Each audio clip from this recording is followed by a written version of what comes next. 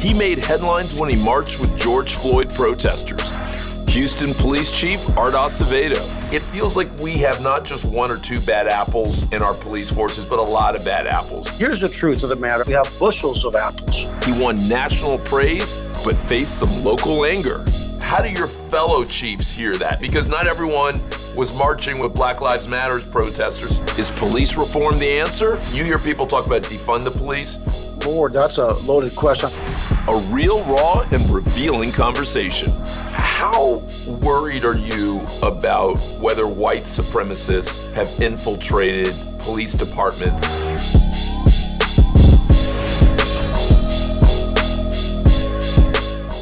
Hey, Chief, it's good to see you. Uh, uh, you and I always have a good time together, and it's uh, even in these crazy times, it's good to have you on the show. Hey, it's always uh, good to be on with a great friend and someone that uh, really uh, is making a difference out here across the nation.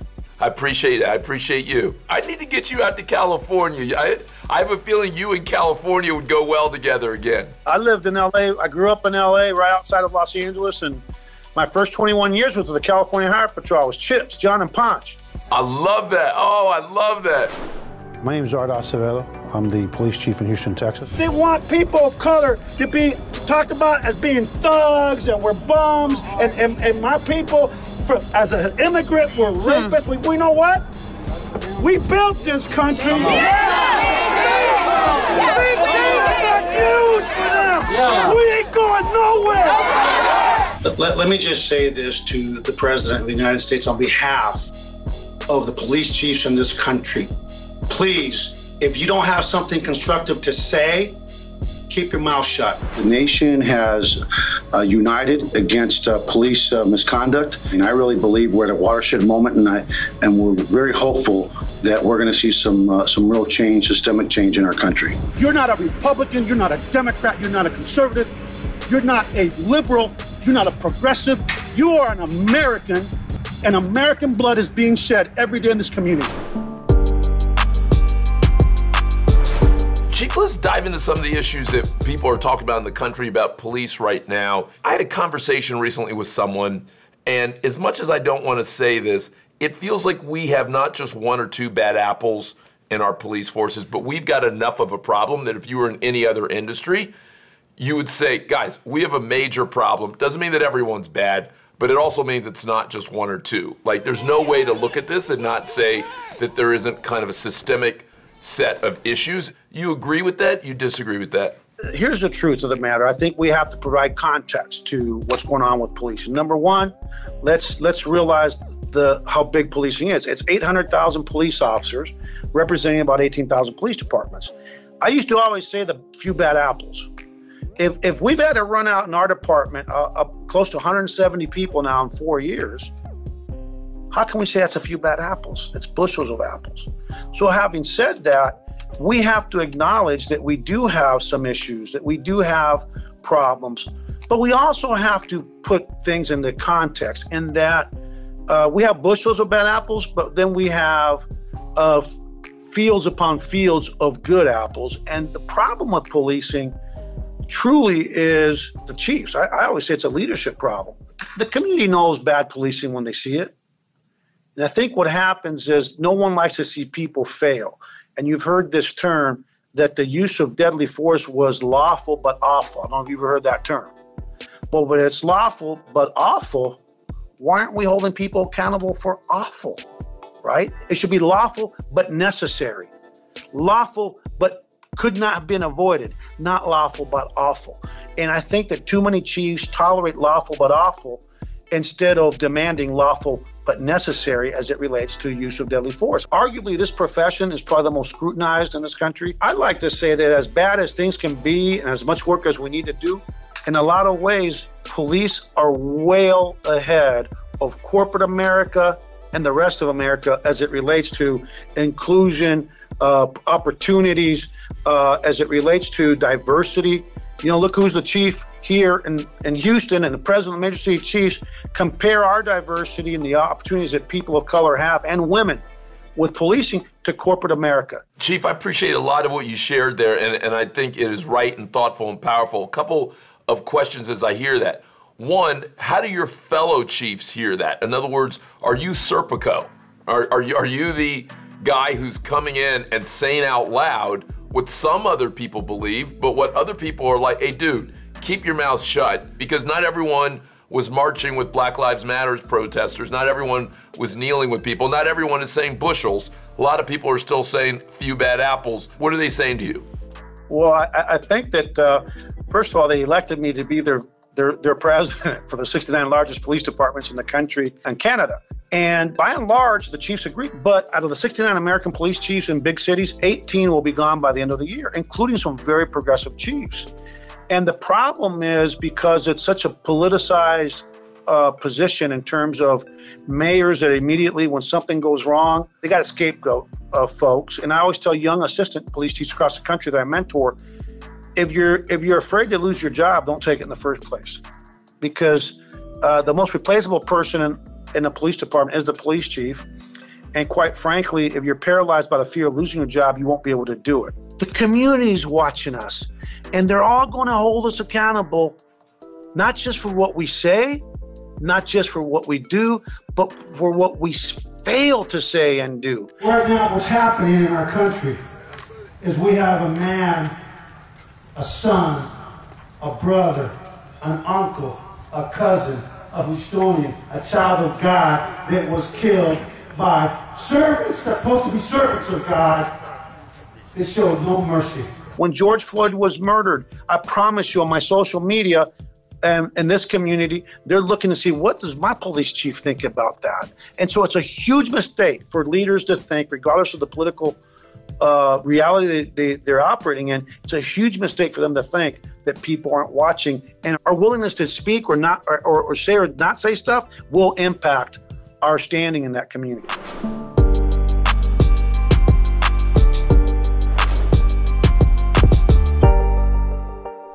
You've testified both before judiciary committees in Congress that defunding the police is not the answer to solving the social and economic problems in this country. Why do you believe cutting funding is the wrong move? It's kind of like if you're going to build a new sports stadium, you, you don't you don't tear down the old sports stadium uh, and stop using it until the new one's new.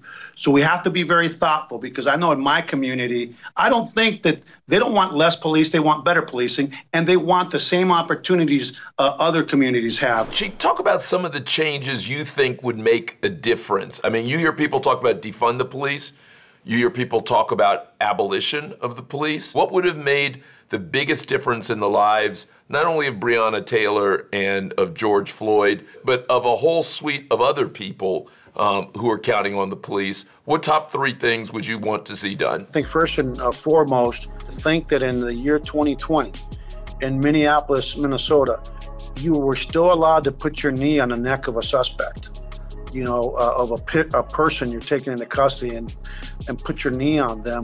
We have to come up with some standardized policies to take away the, the, the authorization of police officers outside of a fight for your life. Outside of that, you need to leave the neck alone. That's not, that's too dangerous. So we've got to have some standardized policies. We need to really have a, uh, a national database tracking what police officers are dismissed or leave service under duress uh, or in lieu of being fired. I'm a realist. Getting rid of qualified immunity across the country is probably not going to happen, but I think that we have to address it and go back to a standard that uh, that is a little bit more amenable to giving people the ability to hold uh, bad cops accountable. How worried are you about whether white supremacists have infiltrated police departments in meaningful enough numbers that that's also part of the issue. That you don't just have bad apples or bushels of apples, but you have determined people who have focused agendas who are joining with with a, a purpose. I think we need to uh, do everything we can to, to weed out hate and hatred in society, period. Criminal elements and people that uh, are racist or white supremacists will try to infiltrate police department. It is a challenge, and it's something we have to be uh, vigilant and uh, on the lookout for. Chief, how worried are you about the fact that that in lots of groups, not just police, there's this sense of snitches get stitches, right? That that you don't want people to tell on each other. That even if people are concerned, worried, disappointed, frustrated that someone's breaking the rules. The notion is us before them. And is that also a meaningful enough issue that if you really are going to have broad, meaningful change, that it's not just a national database, it's not just changing the policies on you know use of force around necks, it's not just uh, X, Y, and Z, but that it also uh, is a larger changing, if you will, of the heart and, and soul. Here's what we have to do: we have to understand that you have a duty to report. You've got to have a solid policy, and you have to have consequences, significant consequences for people that don't report misconduct. But it's not just what you said, it's what you enforce. You have to enforce it, you have to make your expectations clear, and you have to be consistent in the application of that policy.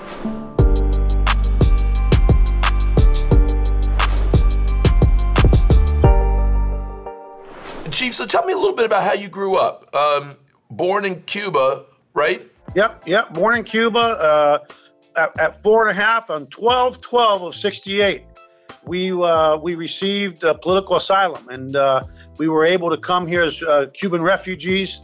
And uh, my dad used to tell us, I'm the baby of four, and my dad used to tell us, "Hey kids, from here from from here to the moon, there's no better place on earth than the United States of America." And and then and then raised us to understand that the United States had given us the greatest gift of all, which is freedom. Man, I mean you know the freedom to pursue your dreams the freedom to say what you what you want to say and uh, and he always used to say don't forget that the the worst day with the freedom the united states gives us is better than the best day under communist rule i grew up in miami and so, you know, we had a large Cuban American population there, but I didn't hear about a lot of Cubanos going out to LA. How did you guys uh, break away from the fold and head out west? You know what? My dad didn't want us to be around a bunch of Cubanos, even though we, we, we very much love our culture and we've never backed away from it. So he said, We're going to go to LA. I really believe, had we stayed in Miami or gone to New Jersey, to one of the pockets of uh, Cuban population,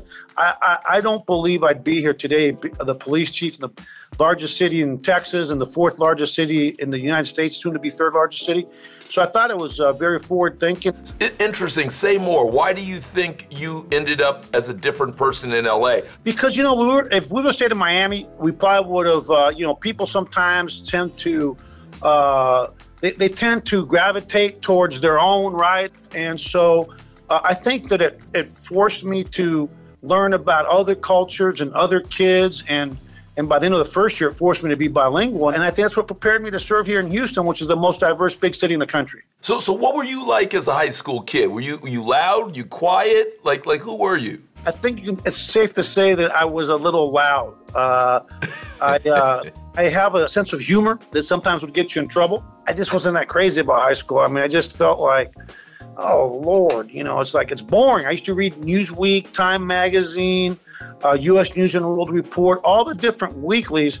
Half the time in class, I'd be reading those those magazines because I was more interested in world events and current events than in the, you know uh, math or writing uh, you know writing uh, an essay. And so, did you head right into law enforcement after high school, or how did you make your way into uh, the California Highway Patrol? My dad was a cop before the communists in Cuba, and he used to tell you know really funny stories about policing. You, remember, this is third world policing, so there was the Constitution wasn't.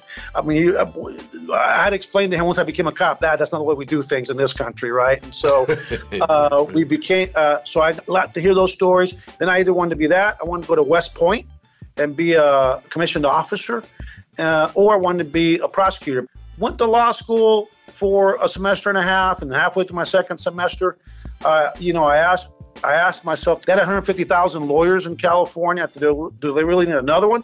And the answer was no. And as luck would have it, we had a, a, police chief that had just that was getting ready to retire that was going through law school. And he looked at me and says, "Art, you can always go back to law school, but you keep talking about how you want to be a police officer." So I went and uh, joined the California Highway Patrol, uh, and I've never looked back.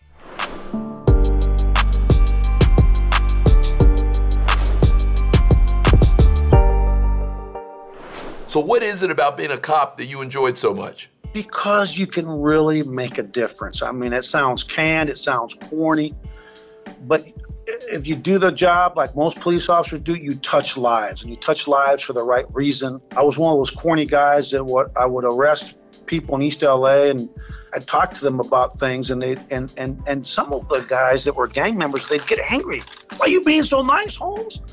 I said, because this isn't personal, man, and you're a person. And you know, and there's more to life than getting yourself arrested for whatever uh, they happen to be arrested for. And so I just really believe that as a, the profession of being a law a professional peace officer um, you really have an impact on society. I remember as an officer, some guy comes up to me and says, Hey, uh, this guy was actually a drunk driver, and he says, Hey, I want to. A drunk driver that fought me, by the way, he was really uh, put up a good fight. And, uh, and he comes up, I barely recognize that. He says, Hey, I want to, th- I'm so and so, I'm the guy you arrested. Well, hey, sir, how are you? He goes, I want to thank you because you changed my life. Tell me a little bit about when you've been scared. Do You ever find yourself scared? The only time that I really think that in my career that I can think back where I was truly scared was during the Los Angeles riots after the Rodney King incident. Um, where you know about 55 Americans lost their lives during the riots. I think I found myself scared, concerned, because you just you know, everything was on fire. You didn't know what was going on. There wasn't good intelligence. There wasn't good briefings. I was looking. I've grown since then to realize that uh, this is a dangerous profession, but I also believe in destiny. And no matter what you do for a living, when it's your time, it's your time.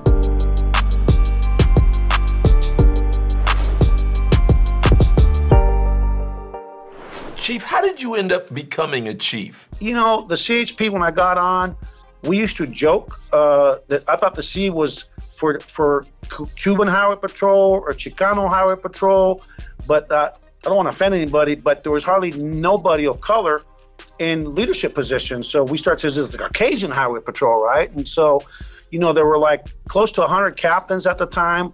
Like one was a Hispanic. Think about that in California. Uh, we had one Hispanic chief, one black chief. That was it. And so I realized that sometimes when you're an immigrant or you're a person of color or you come from a lower socioeconomic uh, circumstances, we're too happy just getting our foot in the door.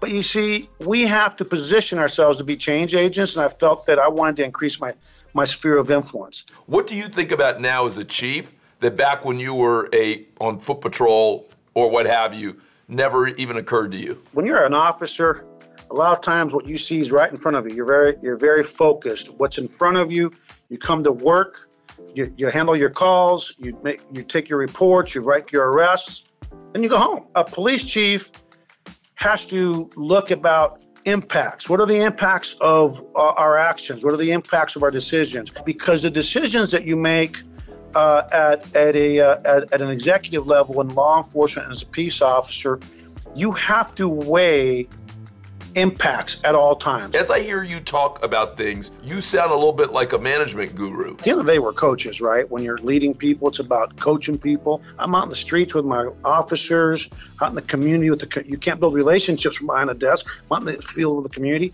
Chief, what do you say to people who say, smart guy, good guy, but he's a showboat. He's spending too much time in the media. He's not doing his job and he's showing the rest of us up. What do you say to those folks?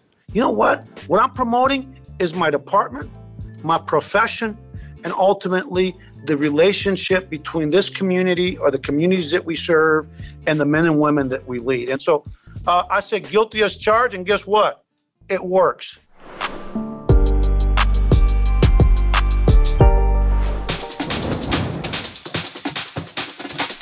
Hey, uh, Chief, I'm going to finish up with what I call my rapid fire. I'm going to give you things. I want your immediate reaction to them. Okay, um, got it. Your favorite movie of all time, or one of your favorite movies? Scarface. Say hello to my little friend. Are you Democrat or Republican? I'm a RINO DINO, which means that I'm too far to the left for the right, too far to the right for the left. Something's happening with your city of Houston. I feel like Houston's the one to watch when it comes to big cities. It's the city of tomorrow, man. We're a reflection of what America is going to look like in the next 20 years. We're the most diverse city. Then we set a beautiful example for the rest of the country and the world. It's a great place. Hey, Chief, what do you think when I say Blue Lives Matter? They do, but the problem with Blue Lives Matter, what happened with that and All Lives Matter, is that when Black Lives Matter, that came up, the answer was simply to say and acknowledge Black lives do matter. What a real pleasure. I appreciate you uh, being on, and uh, you know this won't be the last time. No, brother, come and see us, man. Rodeo, don't forget, rodeo on the other side of COVID. Oh, man, I'm ready. I'm ready. I'm ready. All right, Carlos. Love you, my brother. It's good to see you. Hey, I really hope you enjoyed that conversation with my friend Art Acevedo. He's a super interesting guy. I think he's probably one of the most intriguing leaders in the country, not just police leaders. I love his thoughts on leadership and management. I love that kind of certainty that he kind of proceeds about in the world. He reminds me of so many people I've gotten to know over the years, from a chef and a host like Padma Lakshmi to the late Senator John McCain. May he rest in peace. Um, I hope you enjoyed it as well. Hope you learned a little bit, some big thoughts on policing policy going forward. Let's see whether or not he's the person that lots of folks turn to next year and beyond. Hey, if you're enjoying this, I hope you'll subscribe. I hope you'll tell a friend. And if you're really special, I hope you'll listen to the podcast. I'll see you soon. Hey, tune into the Carlos Watson Show. It's like no other. You're going to enjoy it every weekday on YouTube.